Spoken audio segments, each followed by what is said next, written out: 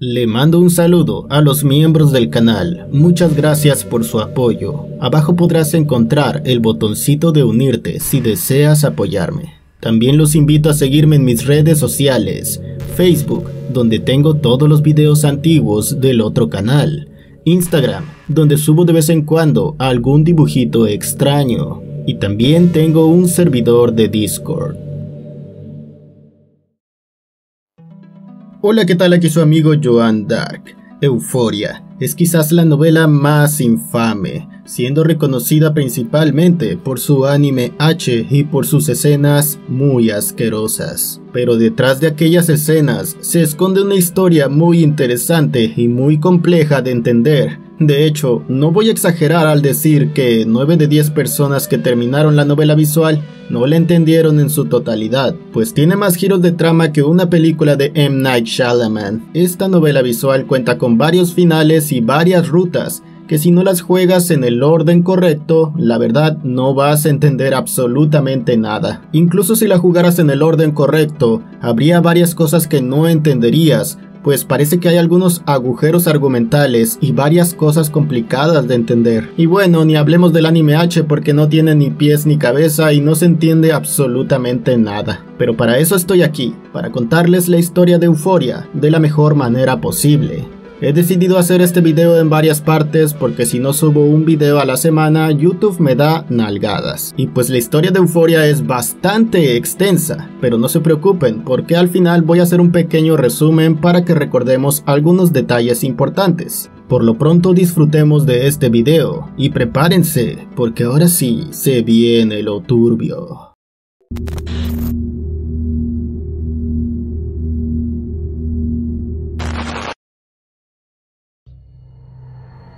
¿Dónde estoy?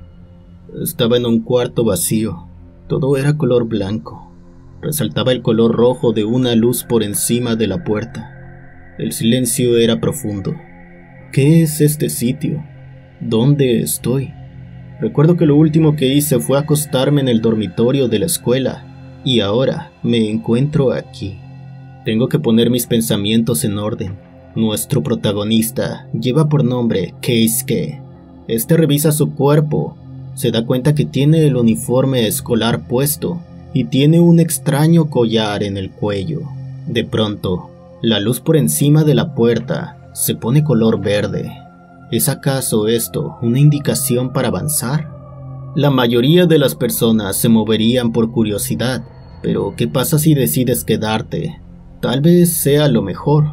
Eventualmente alguien vendrá, ¿no? Que comienza a marearse. Todo se siente pesado. Tiene visión borrosa. De pronto, pierde la conciencia. Un gas nocivo le ha arrebatado la vida, mostrándonos así un final temprano del juego. Al decidir avanzar, en el siguiente cuarto el protagonista encuentra a más personas. Una de estas es Kanae Hokari, su amiga de la infancia y compañera de clases, ella se encuentra tan preocupada y confundida como él. De igual forma, ella tiene la ropa escolar puesta y un collar electrónico en el cuello.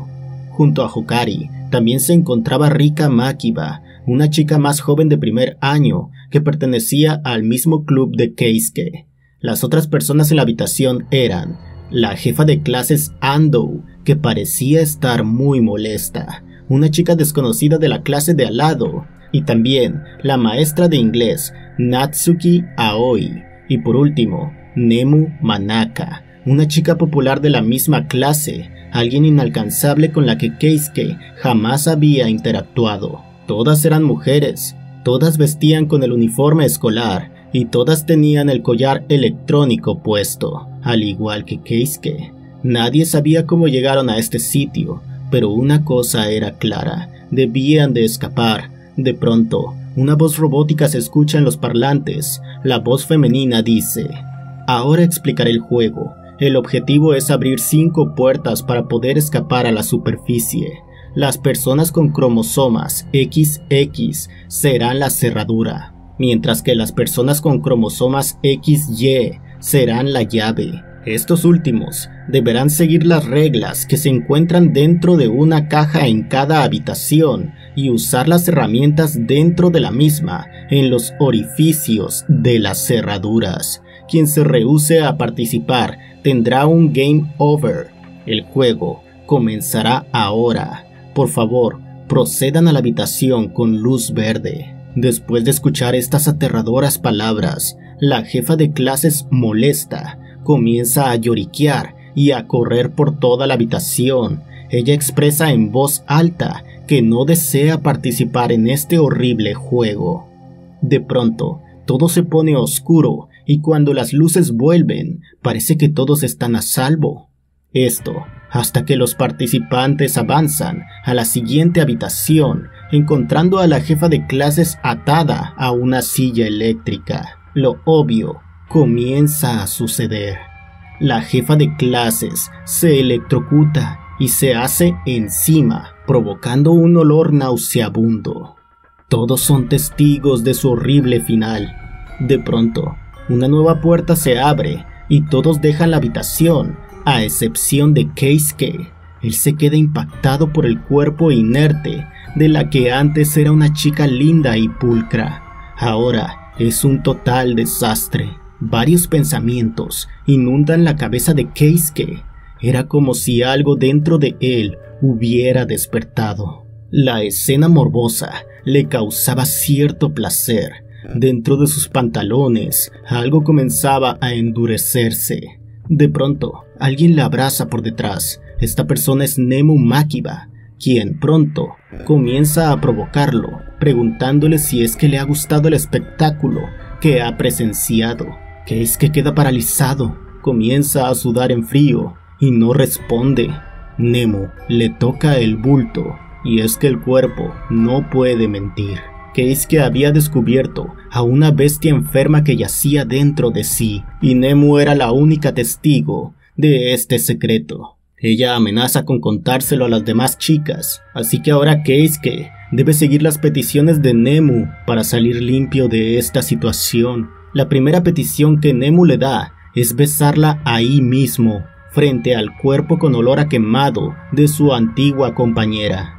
Keisuke no tiene otra opción, pues la persona que más le importa es su amiga de la infancia Kanae. La imagen que ella tiene de él se haría añicos si es que ella se enterara de lo que acaba de ocurrir. Nemu y Keisuke se besan apasionadamente, pero son descubiertos por Kanae, quien queda sorprendida, que trata de explicar lo ocurrido diciendo, no es lo que parece, pero Nemo lo toma del brazo como si fueran novios y le da una sonrisa burlona a Kanae, diciéndole, no, sí es lo que parece. Kanae sale corriendo y Nemo le dice a Keisuke que su siguiente petición es que a la hora de participar en el juego y de elegir a la chica que será la cerradura, debe de escoger a su preciosa Kanae. Keisuke no quiere hacerlo, pero sabe que si no sigue sus peticiones, Nemu sería capaz de cualquier cosa con esa actitud manipuladora y conociendo el mayor secreto del protagonista.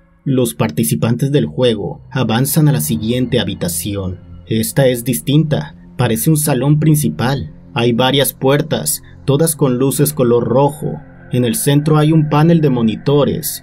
Todos parecían estar asustados, a excepción de Nemu, que mantenía una sonrisa malvada, y también de Rine Byakuya, la chica desconocida de cabello negro. Ella simplemente no mostraba ninguna expresión. De pronto, la más joven del grupo, Makiba, comienza a llorar aterrada de la situación.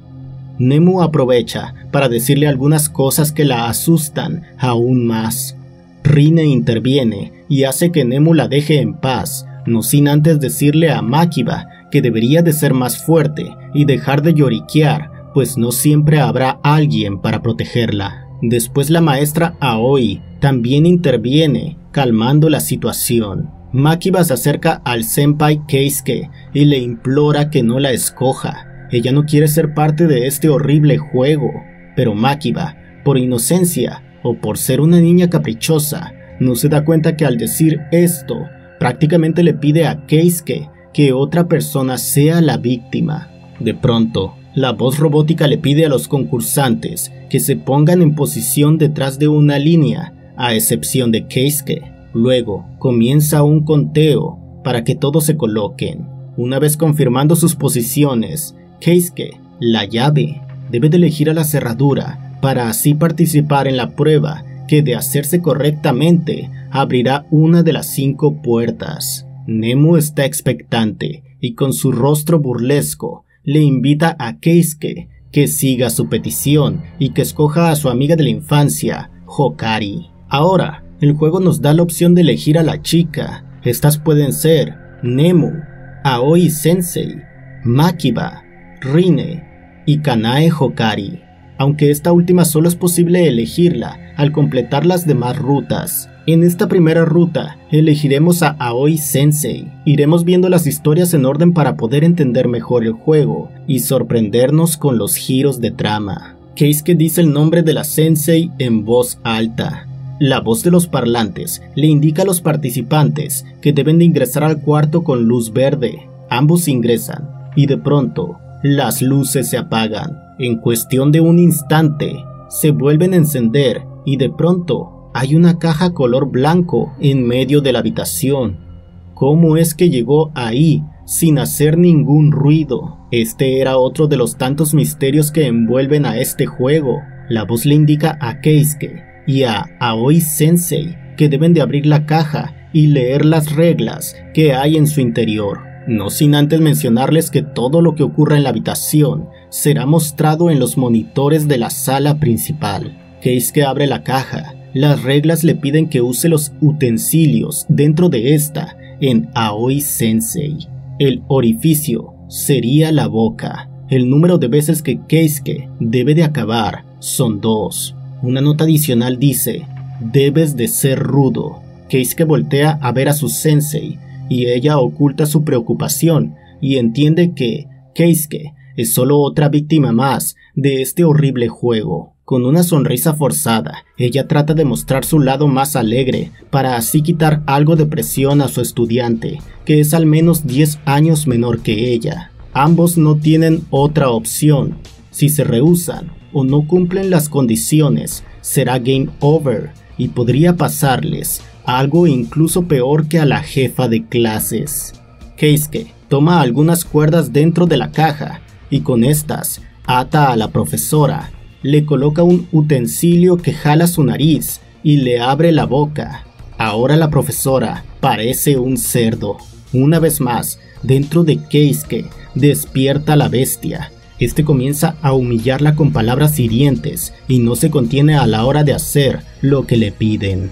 Terminando el acto, la voz comienza a leer el estado de ánimo de los concursantes y confirma que se han cumplido las condiciones y les permite salir de la habitación. Por un instante hubo un silencio incómodo, pero Aoi pronto le dice a Keisuke que no debe de preocuparse, él solo seguía las reglas. Dentro de la misma habitación había una bañera con un nuevo cambio de ropa idéntica a la que traen puesta así que después de asearse, ambos están listos para salir a la sala principal. Las chicas observan a Keisuke, se siente la incomodidad. La voz anuncia que el siguiente turno comenzará en 30 minutos. Nemu con su cara de mala comienza a hostigar a las demás chicas, burlándose cada vez que puede. Es extraño que se sienta tan confiada y tranquila en una situación como esta. Una vez más, la sensei calma la situación. Poco a poco los minutos transcurren, pero hay suficiente tiempo para investigar el salón principal. Keisuke comienza a recorrerlo, encontrando una habitación que tiene una ventana. Dentro se puede observar un comedor y una cama.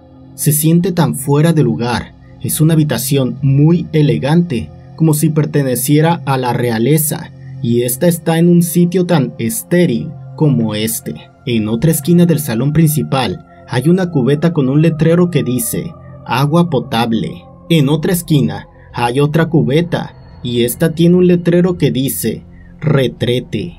Esto daba un aura espeluznante. Los participantes del juego eran tratados como animales que debían humillarse bebiendo de rodillas de una cubeta o haciendo sus necesidades enfrente de todos en otra cubeta. Keisuke observa que hay una habitación con una luz verde, así que sigue investigando y entra. En el suelo se encuentra con la identificación de la ya extinta jefa de clases. Analizando bien el sitio, pronto Keisuke descubre que esta era la habitación en donde la jefa había perdido la vida.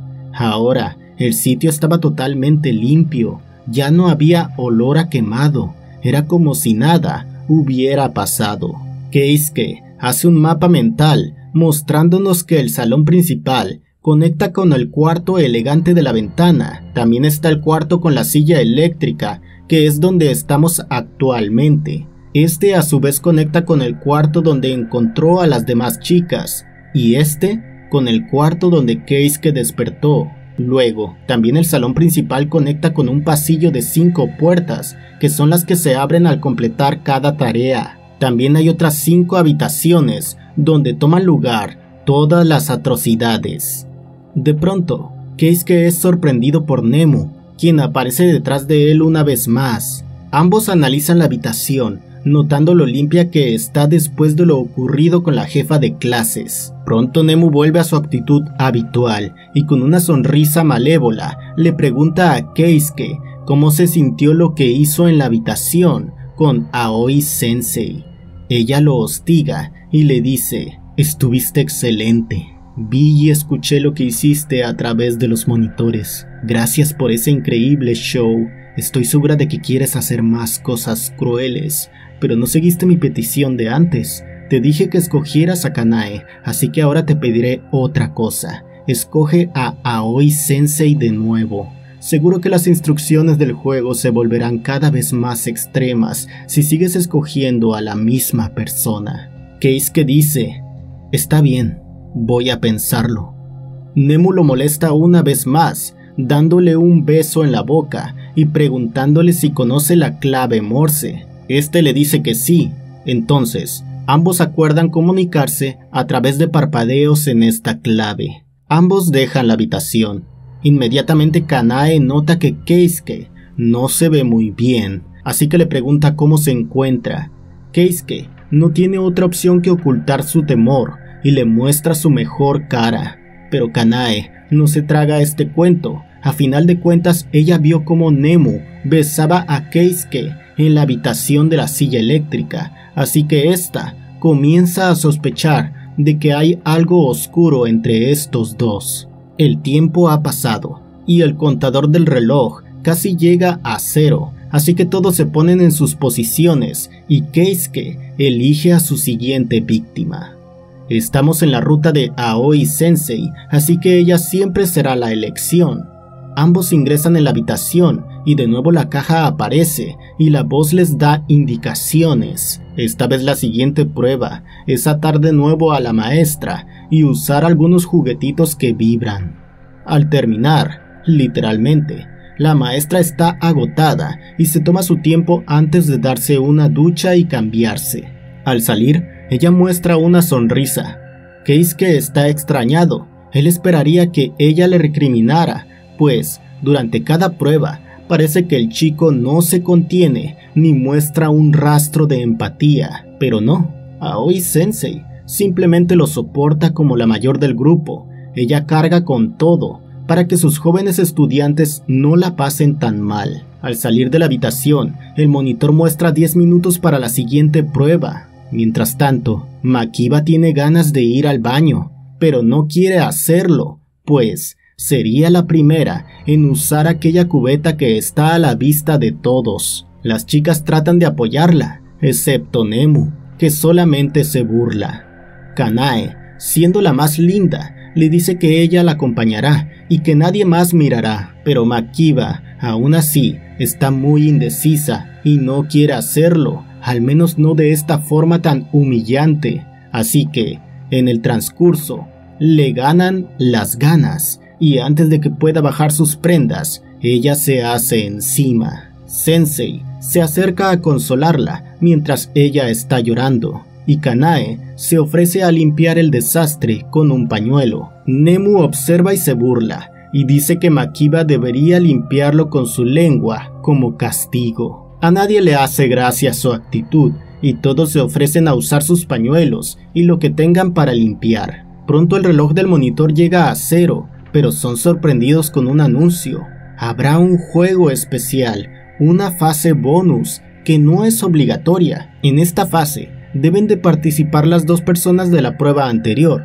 Si deciden hacerlo, la habitación elegante se abrirá y solamente dos personas podrán entrar. Si se rehusan a participar en esta prueba especial, simplemente no tendrán este privilegio. Es una gran oportunidad. Tendrán acceso a comida deliciosa, a una cama y demás comodidades. Makiba pasa de estar llorando a la completa felicidad, casi como un capricho. Ella ignora que solo dos personas podrán entrar en la habitación y ella no ha hecho nada para ganarse este privilegio. Ella le pide a Keisuke que participe en el juego especial, aunque este último no lo va a hacer por ella. Él decide participar y Aoi Sensei de igual forma participa. Ambos entran en la habitación y las instrucciones son las siguientes. Aoi Sensei debe de complacer a Keisuke usando sus pechos. Ambos completan la prueba y al salir, Makiba está muy alegre, expectante por comer lo que se encuentra en la habitación elegante, pero esta felicidad le dura muy poco, pues todas las chicas están de acuerdo de que lo más justo es que Keisuke y Sensei sean quienes usen la habitación, pues han sido los únicos que realmente se han esforzado. Sin embargo, Nemu mira a Keisuke y le hace saber por medio del código Morse que su siguiente petición es que la deje usar la habitación, así que Keisuke sigue sus órdenes. Aoi Sensei también le da su privilegio a la llorona de Makiba. Las chicas se sorprenden un poco, sobre todo Kanae, porque de entre todas las chicas, Keisuke decide darle su premio a Nemu. No tenía sentido. Lo peor es que Nemu es una persona aterradora. Es la última persona con la que Makiba desea estar a solas, así que ella comienza a ponerse nerviosa, pero no le queda más que aguantar todo, con tal de comer algo delicioso. Ambas entran a la habitación y los demás entran a otra habitación con una luz verde.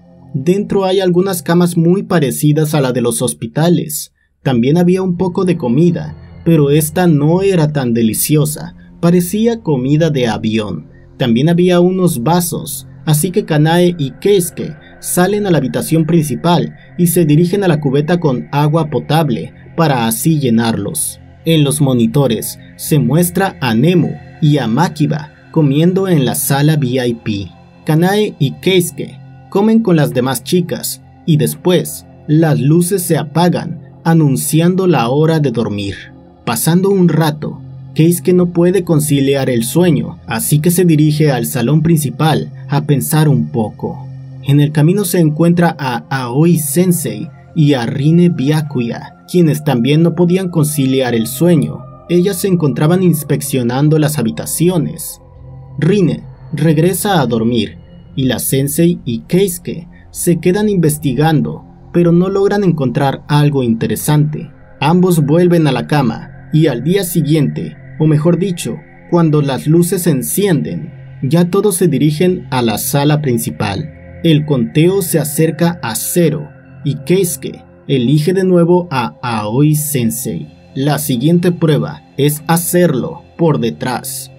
Completada la prueba, se dirigen al salón principal. Ahí observan que Nemu y Makiba ahora parecen mejores amigas. Algo ocurrió en la sala VIP que hizo que ahora se tengan confianza. Aoi Sensei reúne a todos y les dice que deberían de buscar alguna forma, ya sea de escapar o recolectar evidencia.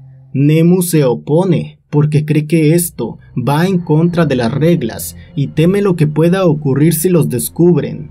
Sorpresivamente Makiba también se opone, apoyando a su nueva amiga. La discusión continúa y no llegan a nada. El tiempo se agota y comienza la siguiente prueba. Keisuke y Aoi Sensei entran en la habitación.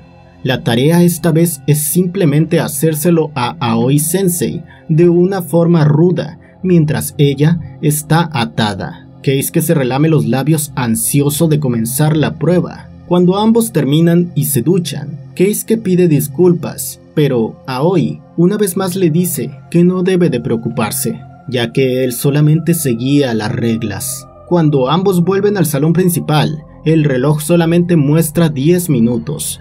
Ambos aprovechan para investigar el lugar lo más que puedan, pero no logran descubrir nada. El tiempo se acaba y de nuevo aparecen las letras de un juego bonus. Ambos deciden participar para ganar la entrada a la habitación VIP. Las reglas son las siguientes. Keisuke debe de usar su lengua en Aoi. Es su turno de complacerla, pero una vez más Keisuke se deja llevar y es demasiado rudo. Cuando ambos terminan, Aoi lo regaña. Cuando salen al salón principal, de nuevo Makiba lloriquea para que la dejen entrar al salón VIP. De nuevo, Nemu mira a Keisuke como diciéndole que la deje entrar a ella también. Keisuke y Aoi deciden tomar lo que les pertenece y ambos entran a la habitación. Ambos comen y después se ponen a charlar un rato, cuestionándose todo lo ocurrido. ¿Qué es este sitio? ¿Quién los puso ahí? ¿Cómo es que las cosas aparecen y desaparecen de la nada? ¿Será que el collar les hace perder la conciencia en estos momentos? A final de cuentas, la voz analiza el estado de ánimo de los concursantes después de cada prueba, así que es muy posible que los collares tengan alguna función que desconocen. Después de esta plática, Aoi Sensei no logra evitar pensar que ocurre algo entre Nemu y Keisuke. Fue muy raro que éste le diera su derecho de usar el cuarto VIP la primera vez. Aoi llega a la conclusión de que ella lo está obligando a algo, así que le pide a su estudiante que por favor se abra con ella y le cuente todo, pero este se rehúsa. Aoi lo consuela y ambos intercambian caricias. Esta vez hacen todo de forma voluntaria. Cuando se acaba el tiempo en la habitación, ambos descubren que hay comida en una caja, una comida que podían sacar de la habitación y dársela a los demás. Así que es de suponer que la primera vez cuando Nemo y Makiba entraron, también debió de haber comida especial, pero estas nunca se las dieron a los demás. Cuando Keisuke y Aoi salen a la habitación principal, confrontan a Nemo y a Makiba. Esta última comienza a lloriquear y como niña caprichosa, dice que no pudo evitar comerse la comida especial. Luego, esta se echa a correr.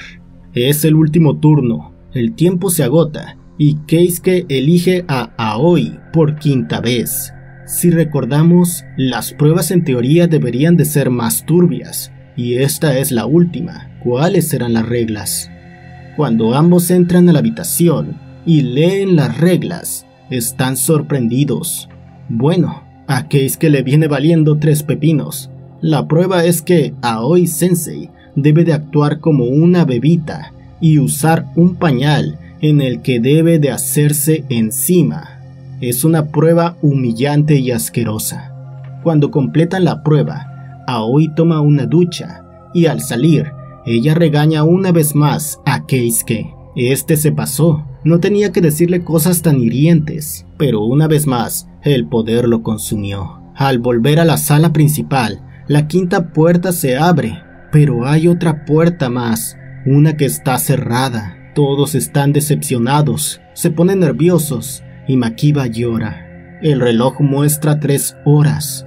Creían que el juego había terminado, pero no es así. No queda más que esperar a que el tiempo termine, así que estos aprovechan y toman una siesta. Kanae, la amiga de la infancia, sigue preocupada por Keisuke y le cuestiona que por qué es que siempre escogía a Aoi Sensei.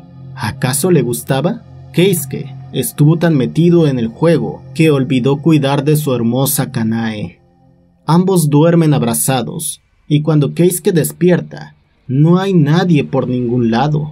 Aterrado comienza a buscar a las chicas, hasta que la voz robótica le dice que participará en un último juego. Ahora debe de rescatar a las cinco chicas. En la primera habitación encuentra a Aoi Sensei crucificada en una piscina. El agua sube poco a poco. Keisuke usa todas sus fuerzas para mover una palanca electrificada que la liberaría. Keisuke hace lo que puede, pero la palanca apenas y se mueve, así que este queda inconsciente, sin saber el destino de su amada maestra. Keisuke despierta en el suelo afuera de la habitación. Una nueva habitación se abre. Nemu está atada contra la pared. Una máquina le está lanzando cuchillos. Keisuke no parece tener intenciones de salvarla y simplemente se regocija imaginando su destino. Al último segundo, este cambia de opinión y pone su cuerpo enfrente de Nemo para así salvarla. Algunos cuchillos se clavan en su brazo. Nemo le grita, le pide que presione el switch y así lo hace. Ambos se salvan. Nemo por primera vez tiene algo de compasión y decide usar una de sus prendas para hacer un torniquete en Keisuke. Ambos comparten un lindo momento. Siguiente habitación.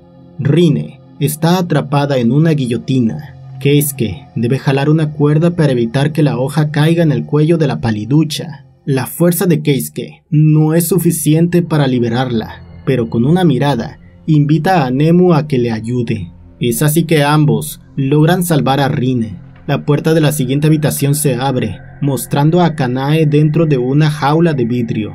Dentro hay una trampa explosiva con clavos.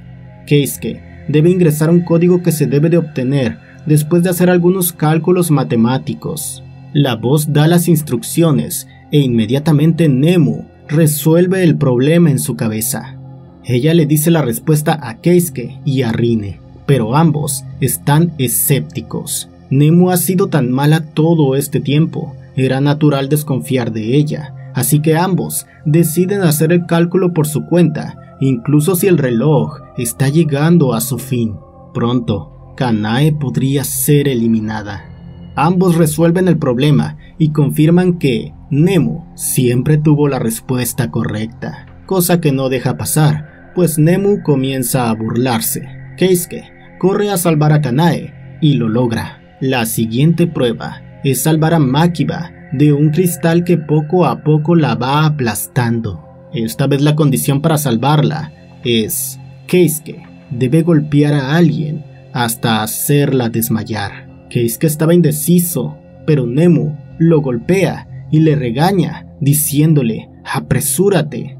Esta fue la excusa perfecta, y Keisuke la golpea hasta dejarla inconsciente. Aunque como siempre, este se dejó llevar por sus instintos. Antes de que se diera cuenta, Kanae lo sujetaba, tratando de detenerlo, incluso si Makiba ya había sido salvada desde hace rato. Esta última lloraba después de presenciar la brutalidad de Keisuke. Este intentó consolarla, pero ella, aterrada, corre hacia Nemu. La puerta se abre y se encuentran en un túnel. Todos comenzaron a correr hasta encontrar una enorme puerta, como de un búnker. Todos usaron sus fuerzas para abrirla. Al otro lado seguía el túnel, pero esta vez era rocoso, como si estuvieran bajo tierra en una cueva. Todos comenzaron a correr cuesta arriba, pero Keisuke ya no le quedaban fuerzas, aparte tenía la herida del cuchillo de cuando salvó a Nemu. Este pierde la conciencia. Cuando despierta, está como en una especie de refugio bajo tierra. Keisuke sube unas escaleras y sale a la superficie. Por fin puede ver el cielo azul y respirar aire puro. Pero parece que la pesadilla estaba lejos de terminar. Ahora se encontraba en un bosque en las montañas. De pronto, alguien lo tumba al suelo y es golpeado por todos lados. Luego, los golpes paran y un montón de chicos con uniforme escolar caen al suelo. Keisuke no lo pensó dos veces y se echa a correr. Así estuvo varios minutos, sus piernas no le respondían, pero siguió hasta encontrar la entrada a un túnel. Lo pensó por un momento, pero decidió entrar. Dentro había varios muebles y objetos. Parece que alguien solía refugiarse aquí. Aprovechó y descansó un poco en el lugar. Tomó una linterna y siguió por la cueva. Se encontró con dos estudiantes con túnicas muy extrañas. Estos intentaron someterlo, pero él pudo defenderse y vencerlos. Es que siguió su camino y sorpresivamente se encontró con Rine. Igualmente estaba vestida con una túnica. Alrededor de ella había varios estudiantes alabándola. Cuando termina la ceremonia, Keisuke se hace pasar por uno de los chicos con túnica y pasa desapercibido.